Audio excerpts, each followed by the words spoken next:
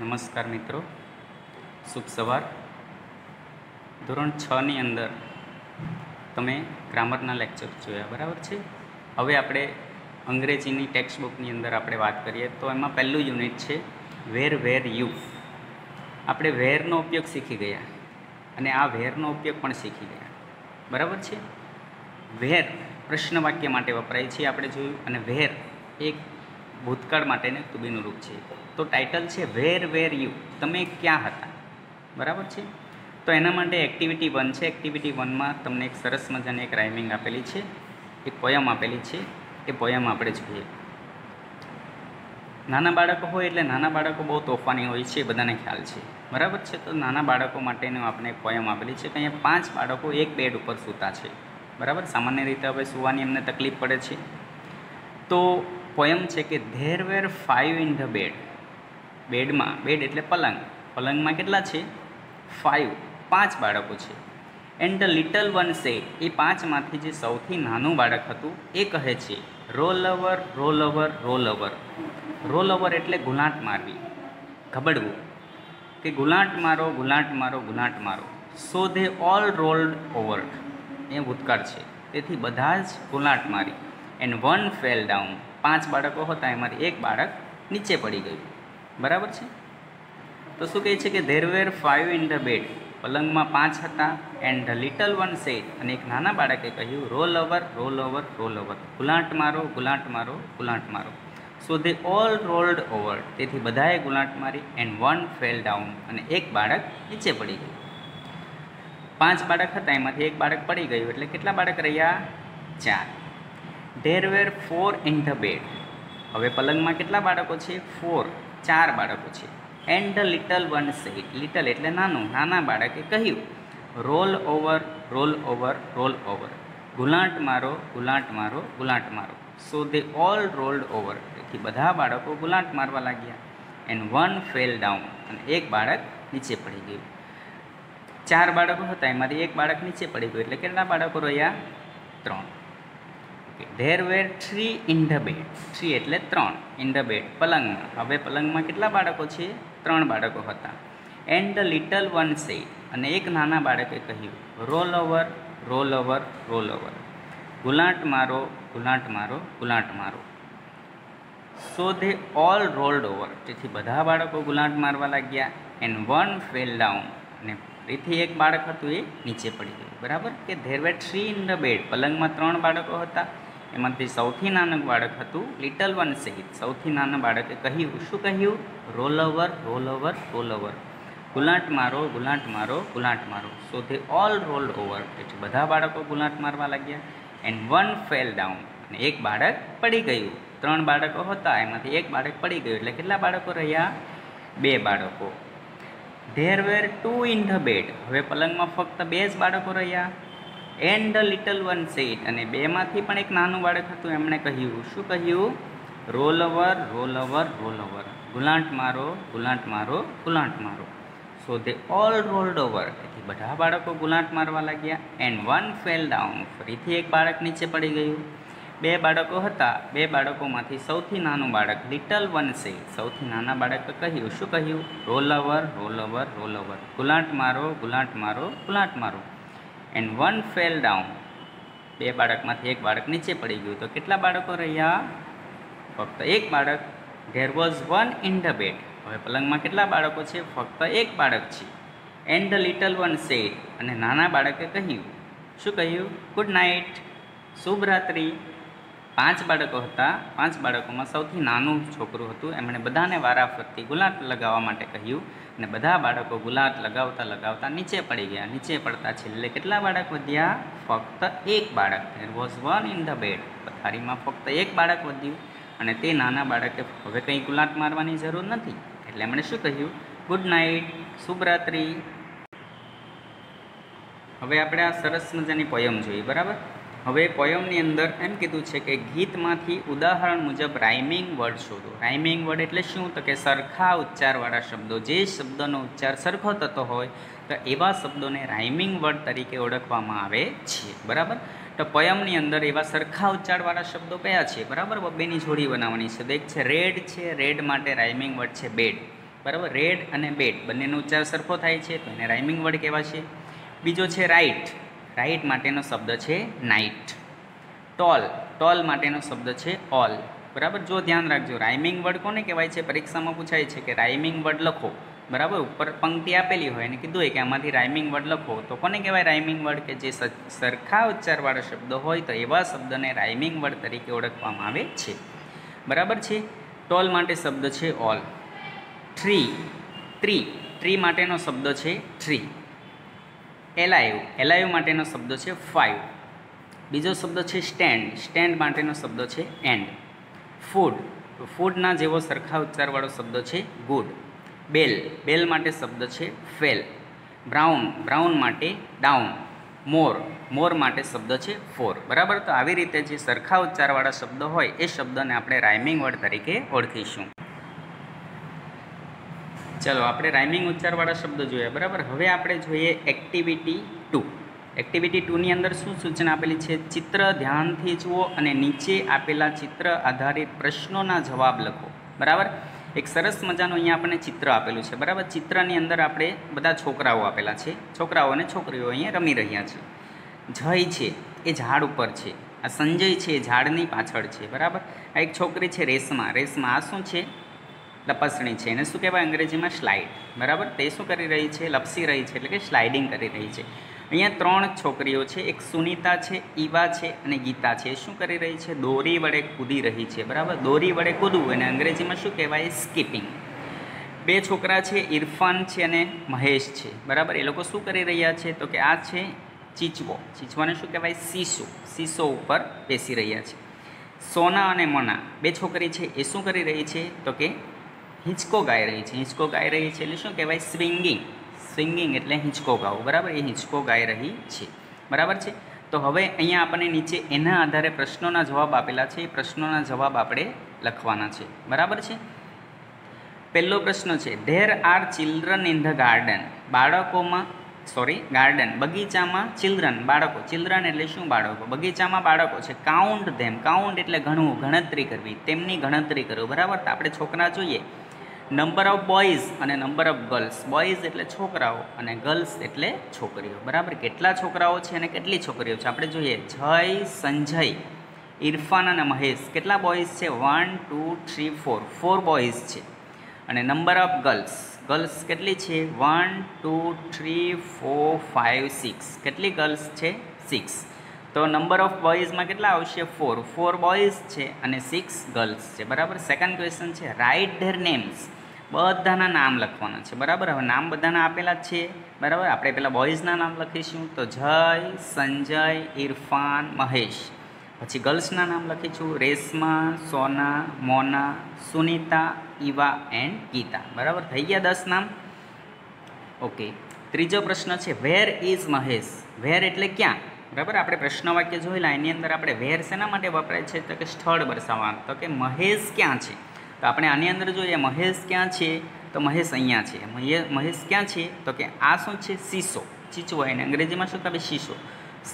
છીંચવાની ઉપર છે. બરાબર? આપણે પ્રિપોઝિશન્સ પણ શીખેલા નામયોગી અવ્યય બરાબર? તો મહેશ ક્યાં છે? તો કે Mahesh is on the seesaw on એટલે ઉપર. મહેશ ક્યાં છે? તો કે મહેશ શીશો ઉપર છે અથવા ચીચવા ઉપર છે. નેક્સ્ટ ક્વેશ્ચન છે where is Sona and Mona Sona and Mona Sona અને મોના ક્યાં છે? બરાબર? તો આપણે ચિત્રમાં જોઈશું કે સોના અને મોના ક્યાં? તો આપણને દેખાય છે સોના અને મોના એ શું કરી રહી છે? હિંચકો ગાઈ રહી છે. બરાબર? હિંચકા ઉપર છે. તો શું કહી રહી છે? સોના અને મોના ક્યાં છે? તો આપણે શું જવાબ લખીશું? આપણે પ્રશ્ન પૂછ્યો કે વેર એટલે ક્યાં છે? તો આપણે લખીશું, Sona and Mona are on the swing, હિંચકા ઉપર છે. બરાબર છે? બીજો પ્રશ્ન છે, are Jay and Sanjay on the seesaw Jay અને સંજય સીસો એટલે ચીચવો. ચીચવા ઉપર છે, તો આપણે જોયું, ચીચવા ઉપર તો એક તો મહેશ બેઠો છે. જય અને સંજય નથી, તો આપણે શું લખીશું? No. Jay and Sanjay are not on the seesaw. Jay અને સંજય ચીચવા ઉપર નથી. બીજો પ્રશ્ન છે is Nirav behind the tree behind એટલે પાછળ ટ્રી એટલે વૃક્ષ. ઝાડની પાછળ છે નીરવ. તો આપણે ચિત્રની અંદર જોઈએ કે ઝાડ પાછળ તો અહીંયા ઝાડ પાછળ કોણ છે? સંજય છે. પ્રશ્નમાં શું કીધું? શું નીરવ ઝાડ પાછળ છે? તો નીરવ તો નથી. તો આપણે શું લખીશું? No Nirav is not behind the tree બરાબર? આગળ જોઈએ તો કે who is on the slide slide એટલે લપસણી. લપસણી પર કોણ છે? બરાબર? તો લપસણી પર એક છોકરી બેઠી છે, એનું નામ છે રેશમા. બરાબર? તો આપણે હુ છે, એની જગ્યાએ ફક્ત લખીશું રેશમા. બરાબર? હુથી પ્રશ્ન વાક્ય આપણે જોયેલા, એની અંદર જોયેલું કે હુથી પ્રશ્ન હોય, એનો જવાબ આપવા માટે આપણે શું કરવાનું? તો કે હુની જગ્યાએ નામ લખી દેવાનું. તો આપણે લખીશું, Reshma is on the slide બરાબર? રેશમા સ્લાઇડ ઉપર છે, એટલે કે લપસણી ઉપર છે. હુ આર સ્કીપિંગ સ્કીપિંગ એટલે દોરડા વડે કોણ કૂદી રહ્યું છે? તો આપણે ચિત્રની અંદર જોઈએ તો કોણ કૂદી રહ્યું છે દોરડા વડે? તો કે સુનિતા છે, ઈવા છે અને ગીતા. ત્રણ છોકરી દોરડા વડે કૂદી રહી છે. બરાબર? તો આપણે શું લખીશું? દોરડા વડે કૂદવું એને શું કહેવાય? સ્કીપિંગ તો આપણે લખીશું, Sunita, Eva and Gita are skipping Sunita and Gita are skipping બરાબર? Eva Sunita and Gita are skipping આગળનો પ્રશ્ન છે what is Reshma doing Reshma શું કરી રહી છે? બરાબર? તો આપણે આગળનો પ્રશ્ન જોયો કે હિંચકાઓ સ્કીપિંગ કોણ કરી રહ્યું છે? બરાબર? સ્લાઇડિંગ કોણ કરી રહ્યું છે? તો આપણે જોઈએ રેસમાં હતી આપણે લખીશું, રેસમાં ઈ સ્લાઇડિંગ બીજો પ્રશ્ન છે what are Sunita and Gita doing Sunita અને ગીતા શું કરી રહી છે? તો હિંચકા ઉપર કોણ હતું? સુનીતા અને ગીતા બરાબર? તો આપણે શું લખીશું? હિંચકાને શું કરવું કે સ્કીપિંગ તો લખીશું Sunita and Gita are skipping Sunita અને ગીતા હિંચકો ગાઈ રહી છે. બરાબર છે? હવે આપણે આગળની એક્ટિવિટી જોઈએ એક્ટિવિટી ત્રણ. એની અંદર શું કીધું છે કે નીચેનો સંવાદ સાંભળો અને વાંચો. બરાબર? આપણે આ સંવાદને સાંભળીએ, વાંચીએ. ટીચર છે. બરાબર? ટીચર કહે છે, Ramesh give me your sharpener please please કોઈ પણ વ્યક્તિ પાસે આપણે કંઈક વસ્તુ માંગવી હોય તો વસ્તુ માંગવા માટે આપણે શું કરવું પડે? વિનંતી.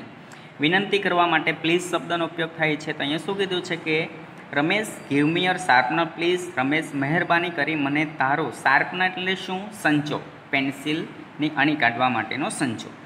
રમેશ, મહેરબાની કરી મને તારો સંચો આપ.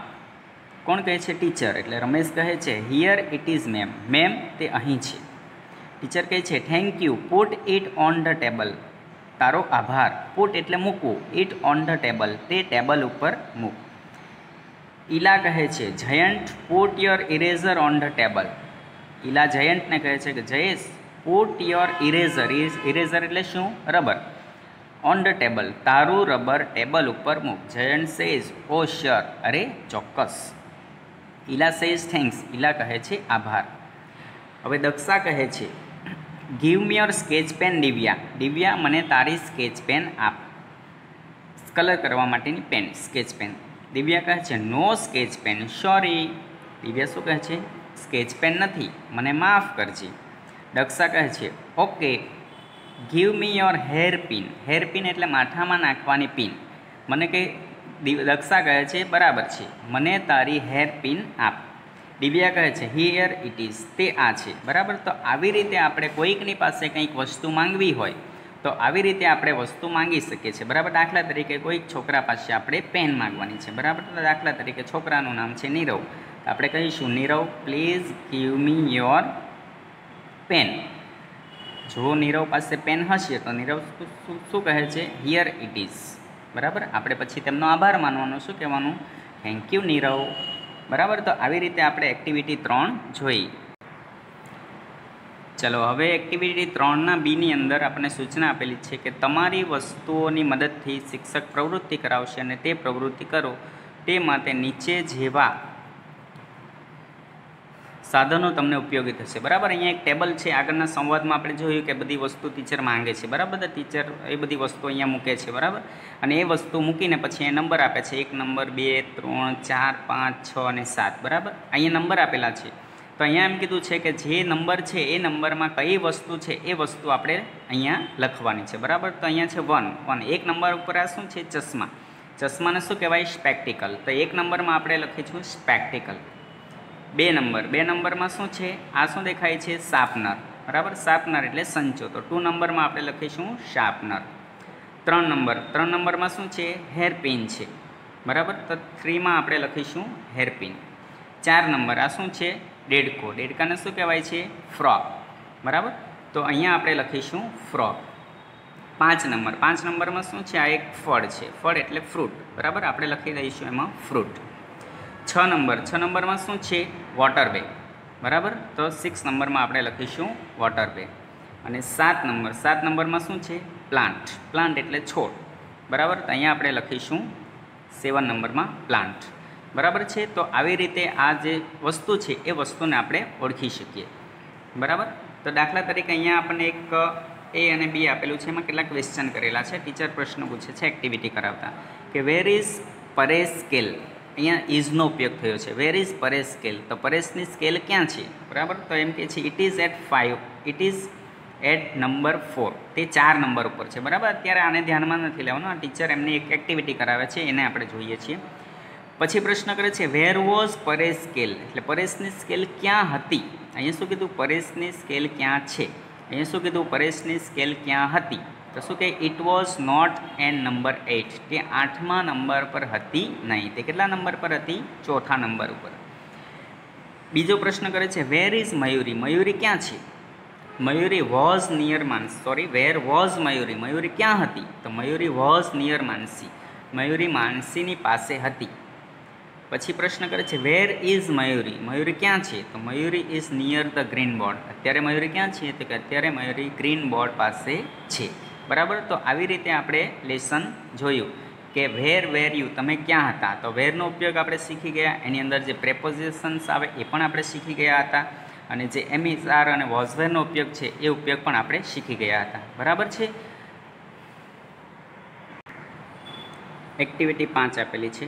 અહીં કેટલીક વ્યક્તિઓની વિગત આડાઅવળી થઈ ગઈ છે. નીચે આપેલા વાક્યો વાંચો અને તે વિગતોને યોગ્ય રીતે જોડો. બરાબર? અહીંયા નામ આપેલા છે. અહીંયા સ્થળ આપેલા છે અને અહીંયા સમય આપેલો છે, બરાબર? Last Sunday last week today morning yesterday last night ને ઓન મંડે બરાબર? તો આપણે આની અંદર ગમે તે વાક્ય આપણે જોડી શકીએ. એક એક્ઝામ્પલ આપેલું છે હેટ અહીંયા આપણે લખવાનું છે, એક વચનમાં આવી તો વોઝ ને બહુ વચનમાં આવી તો લખવાનું છે વેર બરાબર? Het was at the circus last night ગઈ રાત્રે હેટ સર્કસમાં હતો. વંદના છે. તો Vandana was at the post office, post ઓફિસમાં હતી. અથવા તો આપણે લખીએ on the farm Vandana was on her farm ક્યારે હતી? Last Sunday doctor Shah doctor Shah was in the hospital today morning આજે સવારે ડૉક્ટર શાહ હોસ્પિટલમાં હતા. જસ્મીન એન્ડ ચમેલી. બહુ વચન છે એટલે એમાં શું આવશે? વેર. જસ્મીન એન્ડ ચમેલી. વેર. આપણે લખીશું એટ મહેન્દ્રસ ઓફિસ. લઈશું આપણે યસ્ટરડે ગઈકાલે. Mrs Vaghela Mrs Vaghela was in a meeting on Monday ભારતીયન Kalpesh at the post office post ઓફિસમાં હતા લાસ્ટ વીક ગયા અઠવાડિયે, બરાબર? તો આવી રીતે સેન્ટન્સ જે છે, આપણે સેન્ટન્સ જોડીને આપણે વાક્ય બનાવી શકીએ, બરાબર? તો આ પહેલું લેસન છે, એની એક્ટિવિટી ફરીથી એકવાર તમે રિવિઝન કરી લેજો, વ્યવસ્થિત રીતે વાંચી લેજો. અને આની અંદર જે સ્પેલિંગ આવે છે બરાબર? અઘરા લાગતા હોય એવા સ્પેલિંગ જે છે, એ સ્પેલિંગ હું તમને પિક્ચરમાં મોકલાવીશ. એ તમે ધ્યાનથી એનું અધ્યયન કરી લેજો. નમસ્કાર.